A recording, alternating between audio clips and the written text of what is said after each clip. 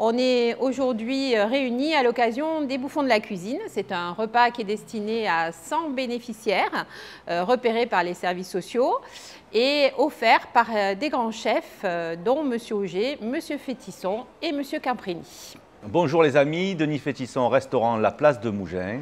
Très heureux d'être avec vous aujourd'hui pour les Bouffons de la cuisine 2024 en compagnie de notre Bruno national. Bruno Auger, le chef au, au Canet Bastille Bruno Auger. Euh, voilà, on est ravis d'être là euh, à nouveau pour cette cinquième année euh, consécutive. C'est un moment important pour nous parce que c'est, on participe à, une, un déjeuner national organisé par les Bouffons de la cuisine, une association de, de, grands chefs français qui ont voulu adhérer à cette association pour pouvoir faire un, un déjeuner partage le moment avec la municipalité et la municipalité euh, voilà, invite une centaine de personnes euh, euh, présentes pour ce beau déjeuner. Qui on essaie de le faire entre décembre et janvier voilà, pour fêter un petit peu les jolis moments de fin d'année ou début d'année.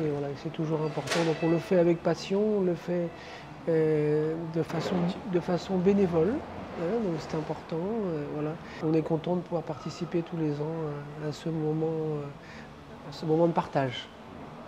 Alors au menu. Alors moi j'ai fait l'amuse-bouche avec un velouté de butternut à l'huile de truffe noire et euh, une émulsion Saint-Jacques et des petites chips de hum, topinambour. Voilà. Nous on a préparé dans l'esprit d'une ballotine de volaille au foie gras avec un petit peu de chou vert et une sauce à la truffe. Euh, voilà.